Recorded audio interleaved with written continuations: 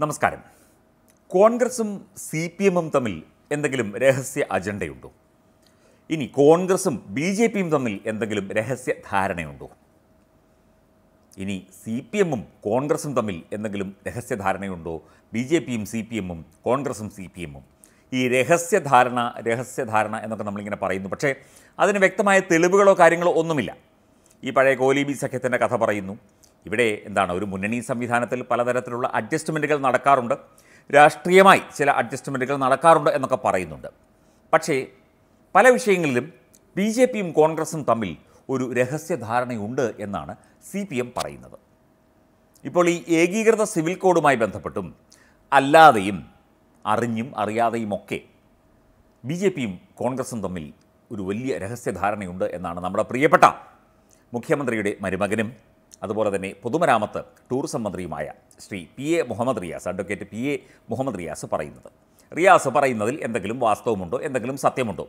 അദ്ദേഹം പേരെടുത്ത് തന്നെ അല്ലെങ്കിൽ ഇത്തരം രഹസ്യ അജണ്ടയുമായി മുമ്പോട്ട് പോകുന്ന നേതാക്കളുടെ പേരെടുത്ത് തന്നെ ഇക്കാര്യങ്ങൾ പറയുമ്പോൾ അതിനകത്ത് എന്തെങ്കിലും സത്യമുണ്ടോ? വാസ്തവമുണ്ടോ? എന്നുള്ളതാണ്. പിന്നെ ഒരു പുതിയ പദം കൂടി എന്താണ്? ഇംഗ്ലീഷ് ഭാഷയ്ക്ക് അല്ലെങ്കിൽ മലയാള ഭാഷയ്ക്ക് ശ്രീ പി എ മുഹമ്മദ് റിയാസ് സമ്മാനിച്ചിരിക്കുന്നു. എന്നുള്ളതാണ് ഇതിൽ നിന്ന് മനസ്സിലാകുന്നത് അദ്ദേഹത്തിന്റെ പ്രസ്താവനയിൽ നിന്ന് ഇപ്പോൾ ഉരുത്തിരിഞ്ഞു വരുന്നത്. ചില കോൺഗ്രസ് നേതാക്കൾ ബി ജെ പിയുടെ സ്ലീപ്പിംഗ് ഏജന്റുമാരാണ് എന്ന ആരോപണവുമായിട്ടാണ് ഇപ്പോൾ റിയാസ് രംഗത്ത് വന്നിരിക്കുന്നത്. സ്ലീപ്പിംഗ് ഏജന്റുമാർ ഉറങ്ങിക്കിടക്കുന്ന ഏജന്റുമാർ അവർ സമയത്ത് ഉണർന്നെഴുന്നേറ്റ് പ്രവർത്തിക്കും എന്നുള്ളതായിരിക്കും ശ്രീ റിയാസ് ഉദ്ദേശിച്ചിരിക്കുന്നത്. സി പി എം സെമിനാർ പൊളിക്കാൻ ഇവർ ഒന്നു ചേർന്ന് ശ്രമിച്ചു. സ്ലീപ്പിംഗ് ഏജന്റുമാർ ആരൊക്കെയാണ്?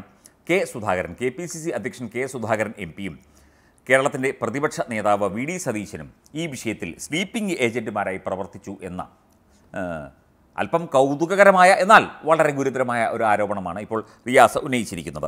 സെമിനാറിന്റെ ശോഭ കെടുത്താൻ വ്യാപക പ്രചരണം നടത്തി. അതുപോലെ കേരളത്തിൽ ഈ സെമിനാർ പൊളിക്കാൻ ഏറ്റവും തീവ്രമായ നിലപാടെടുത്തത് പ്രതിപക്ഷ നേതാവ് വി ഡി സതീശനും കെ പി സി സി അധ്യക്ഷൻ കെ സുധാകരനുമാണ്. ഏക വ്യക്തി നിയമത്തിനെതിരെ ആത്മാർത്ഥമായി പ്രവർത്തിക്കുന്ന യു ഡി എഫിലെയും കോൺഗ്രസിലെയും നേതാക്കന്മാർ കോൺഗ്രസിനുള്ളിൽ പ്രവർത്തിക്കുന്ന ബി ജെ പിയുടെ സ്ലീപ്പിംഗ് ഏജന്റുമാരെ തിരിച്ചറിയണം എന്ന കാര്യമാണ് മുഹമ്മദ് റിയാസ് പറയുന്നത്. മറ്റ് സംസ്ഥാനങ്ങളിൽ ഇത്തരം പ്രക്ഷോഭങ്ങളും സെമിനാറുകളും നടത്തിയാൽ അതിന്റെ പേരിൽ വേട്ടയാടുകയും അതിനെ ശരിപ്പെടുത്തുകയും ചെയ്യുന്ന സമീപനമാണ് ബി ജെ പിക്ക് ഉള്ളത്.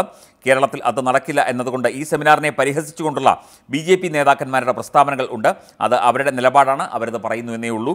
എന്നാൽ കേരളത്തിലെ ചില കോൺഗ്രസ് നേതാക്കന്മാർ ഈ സെമിനാർ പരാജയപ്പെടാനും ഈ സെമിനാറിലെ ജനപങ്കാളിത്തം ഇല്ലാതാക്കാനും വൈവിധ്യമാർന്ന മേഖലകളിൽ ഉള്ളവർ ഈ സെമിനാറിൽ പങ്കെടുക്കാതിരിക്കാനും സെമിനാറിന്റെ ഉദ്ദേശശുദ്ധിയെ ചോദ്യം ചെയ്ത് കുപ്രചരണം നടത്തി മുന്നോട്ട് പോകാനുമാണ് ശ്രമിച്ചത്. ആ കോൺഗ്രസ് നേതാക്കന്മാർ ആർ എസ് എസിന്റെ ബി ജെ പിയുടെ സ്ലീപ്പിംഗ് ഏജന്റുമാരായി കേരളത്തിലെ കോൺഗ്രസിൽ പ്രവർത്തിച്ചു വരികയാണ് എന്ന ആരോപണമാണ് ഇപ്പോൾ റിയാസ് ഉന്നയിച്ചിരിക്കുന്നത്.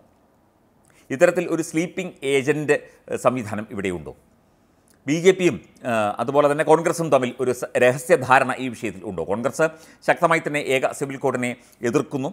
വ്യക്തമായി അവരുടെ പ്രസ്താവനയും അവരുടെ നിലപാടുകളുമൊക്കെ നമ്മൾ കണ്ടതാണ് കേട്ടതാണ്.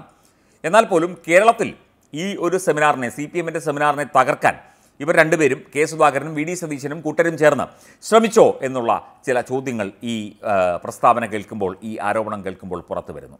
ഇവിടെ പരസ്പരം എന്ത് അഡ്ജസ്റ്റ്മെന്റുകൾ നടത്തിയാലും പരസ്പരം എന്ത് തരത്തിലുള്ള ധാരണയുണ്ടാക്കിയാലും പരസ്പരം രാഷ്ട്രീയമായ എന്താണ് വിലപേശലുകൾ നടത്തിയാലും അഡ്ജസ്റ്റ്മെന്റുകൾ നടത്തിയാലും ഒക്കെ തന്നെ നിങ്ങളൊക്കെ എന്താണ് പരിഹസിക്കുന്നത് അല്ലെങ്കിൽ നിങ്ങളൊക്കെ നോക്കിച്ചിരിക്കുന്നത് കേരളത്തിലെ ജനങ്ങളുടെ മുഖത്താണ് എന്നുള്ള കാര്യം.